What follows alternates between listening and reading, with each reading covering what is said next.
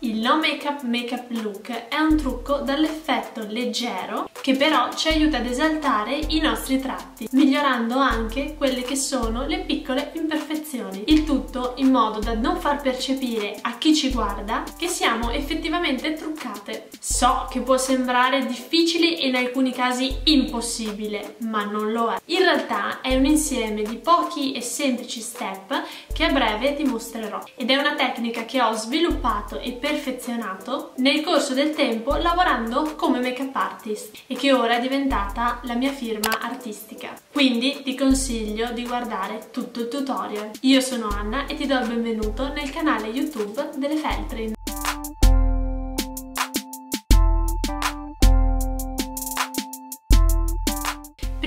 Procedere alla spiegazione del tutorial, permettimi solo di ricordarti che se sei super interessato a questi tutorial, clicca mi piace a questo video e non dimenticarti di iscriverti al nostro canale. Attivando le notifiche che troverai qui sotto, potrai essere avvisata ogni qualvolta esce un nuovo tutorial.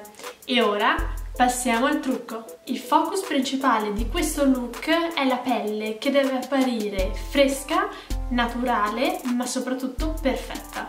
Ovviamente è fondamentale la parte dello skin care, quindi utilizzare dei trattamenti specifici per la tua tipologia di pelle io ad esempio ho utilizzato questo qua il Perfect Canvas che mi darà una base quindi lo utilizzo proprio a mo' di primer ma a differenza dei comuni primer non ha il silicone all'interno quindi lo posso utilizzare tutti i giorni ed è perfetto se tu come me hai la pelle tendenzialmente mista quindi che si lucida sulla zona T lo andrò a applicare proprio lì. Successivamente applico il eh, fondotinta in questo caso in realtà realtà si può scegliere sia un fondotinta molto leggero oppure eh, come ho scelto io una BB cream. L'importante è che il prodotto che voi andate a utilizzare abbia una texture molto leggera quasi impalpabile un effetto seconda pelle. Io ho scelto questa qui che è la BB cream di Deborah 5 in 1 mi andrà a uniformare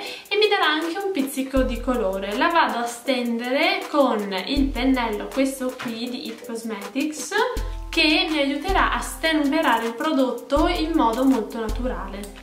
Allora lo vado ad applicare direttamente sulla mano, poi ne prelevo un po' con il pennello e parto dal centro sfumandolo poi su tutto il viso. Questo è perfetto anche perché comunque ha un minimo di protezione, una protezione 20, però ha una texture veramente che si sfuma quasi da sola. Il colore poi è perfetto perché in realtà non mi lascia questo effetto bianco ma mi lascia un pizzico di colore.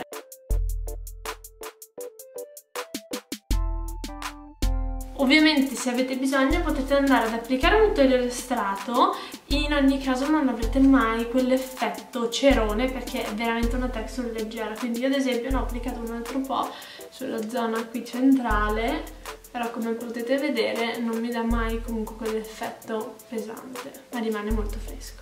Ecco, questo è il risultato. Come puoi vedere, ancora qualche imperfezione si vede ed è normalissimo. Queste imperfezioni le vado a correggere con un correttore specifico che è leggermente proprio asciutto, anche del correttore che vado ad applicare per il contorno occhi ed è quello di Laura Mercier, il Secret Camouflage. Io non ce l'ho nel suo packaging originale, ma sono andata ovviamente per praticità eh, quando lavoro, eh, li ho posizionati in questa scatolina. Vado ad utilizzare il correttore più adatto alla mia tipologia di pelle, in questo modo di solito il colore che viene usato di più è l'SC3 che è il colore diciamo una tonalità media e utilizzo questo qua che è il pennello sempre Secret Camouflage che mi aiuterà a essere molto più precisa perché ovviamente non andrò ad applicarlo everywhere ma andrò ad applicarlo proprio sul singolo, sulla singola imperfezione. In questo modo lascerò sempre questo effetto di base molto fresca e luminosa ma uniforme. Quindi vado a prelevare un po' di prodotto lo doso sempre sulla mano quindi vado proprio a scaricare quasi il pennello in questo modo e poi vado direttamente sull'imperfezione quindi in questo modo a picchietto Potete anche per sfumarlo utilizzare un pennello morbido, anche quello da correttore, per occhiaie, in questo modo qua.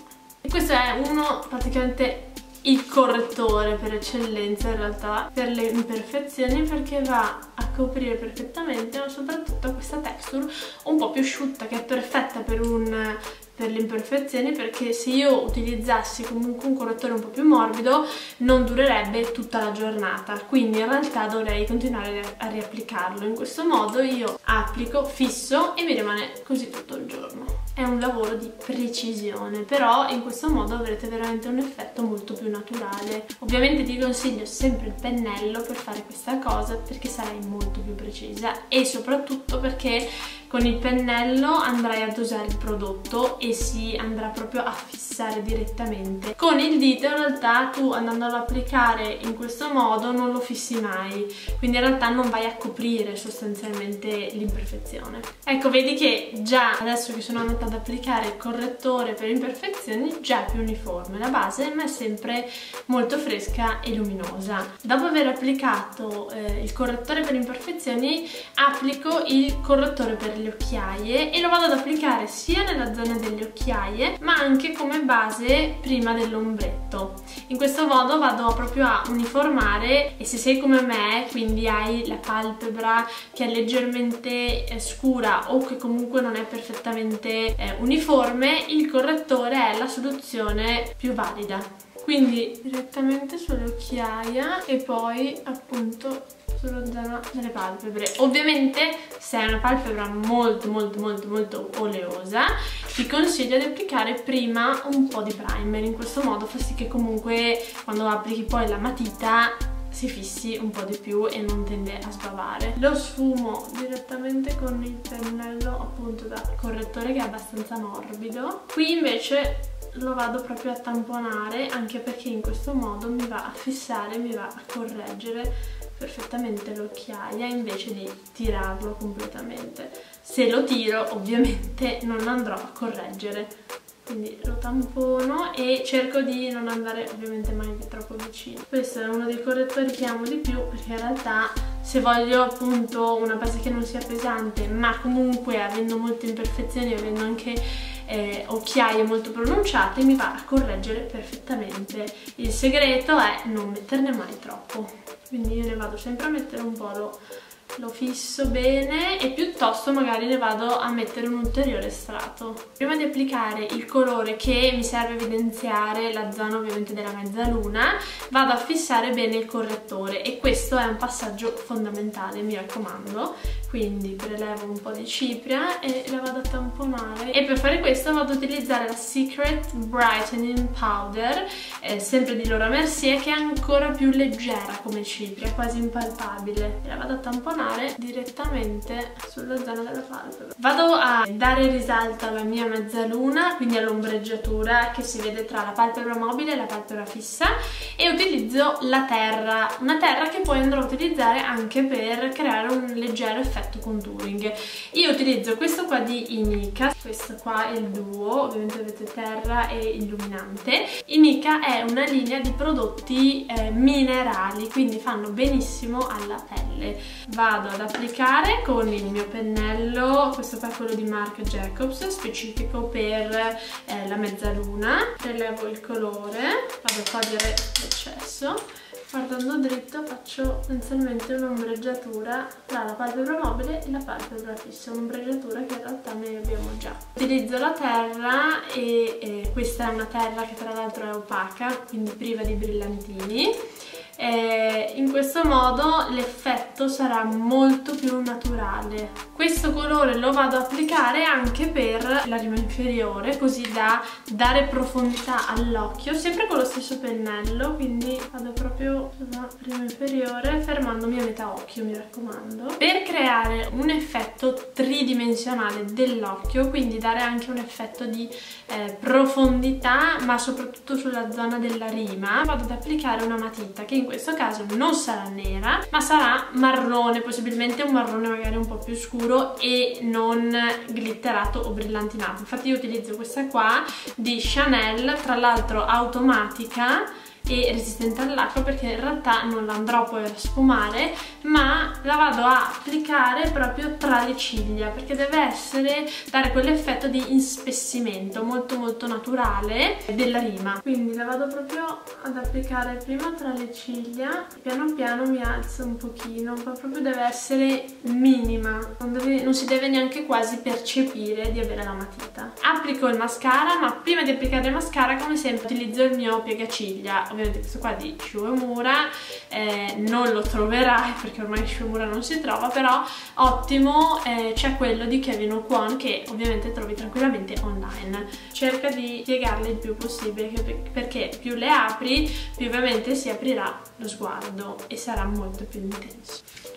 Voilà vedi la differenza tra questo e questo. Cerca sempre di utilizzare il piegaciglia perché veramente fa la differenza anche se devi applicare solo il mascara. Ho scelto questo qua di NYX On The Rise che è extra extra black e ha lo scovolino in silicone e vado su tutte le ciglia mi raccomando. Puoi fare tre passaggi l'importante è che tra un passaggio e l'altro aspetti che si asciuga un attimo.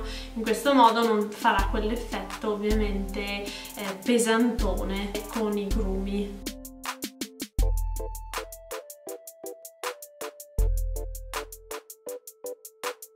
applico un correttore leggermente più chiaro in modo da comunque definire ancora di più l'occhio e applico sempre questo qua di Nabra ma nella colorazione Ivory. Quindi ne metto pochissimo veramente e lo vado ad applicare qui. E soprattutto qui nell'angolino in questo modo darà proprio quell'effetto anche leggermente più allungato e lo sfumo come sempre col pennello questo qui da correttore un po' più morbido e lo picchietto. Vado a dare un po' di tridimensionalità al viso e utilizzo la terra che ho utilizzato in precedenza per la mezzaluna la applico, tolgo l'eccesso e la applico con un pennello angolato. In questo modo sarà molto più facile individuare proprio l'esatta posizione di dove devo andare a applicare. Quindi sullo sotto lo zigomo in questo modo. E poi andrò a applicarla anche un po' sul collo e sul tempio applico il blush e mm, utilizzo quello in crema perché comunque mi lascerà quell'effetto secondo pelle e molto molto naturale come finish e lo posso applicare ovviamente in realtà direttamente con le dita. Anzi secondo me è l'applicazione migliore per questa tipologia di blush quindi lo vado a dosare sulla mano e poi a picchiettare piano piano. Ecco un altro segreto che ti do è di applicarne sempre poco perché se ne applichi un po' di più poi è difficile da sfumare. Però io lo vado ad applicare in questo modo tamponandolo e se ho bisogno ovviamente di un po' di più prodotto ne vado a prelevare un altro po' applico l'illuminante e ho scelto quello in polvere, questo qua di, dalla palette di Dior che adoro in realtà. Vado ad utilizzare il pennello di Real Techniques e vado a prelevare il colore e lo vado praticamente a mettere sulla parte più sporgente del zigomo in questo modo. Questo è quello che darà poi tutta la luminosità del make up anche perché lo applico solo in alcuni punti non anche un po' sull'arco di Cupido. Poi lo vado ad applicare anche sull'angolo interno dell'occhio. In questo modo eh, andrò a creare quel contrasto tra il colore opaco e un po' più scuro che ho applicato per la mezzaluna e questo colore che invece è più chiaro e brillante. E anche per le labbra ho scelto un prodotto che sia dalla texture molto molto leggera, molto molto fresca e quindi ho deciso di utilizzare questo qua di Glossier che è un misto diciamo non è né troppo un gloss ma neanche un rossetto troppo cremoso. È una via di mezzo, leggermente colorato quindi lo vado ad applicare direttamente sulle labbra. Vedi che mi lascia un po' di colore ma ovviamente molto naturale. Ah Ovviamente se sei come me, quindi non puoi rinunciare a delle labbra comunque leggermente definite, io vado ad utilizzare la matita, questa qua, l'Iconic Nude, che comunque rimane molto naturale come, eh, come finish di Charlotte Tilbury e vado semplicemente a dare un po' di definizione al contorno delle labbra.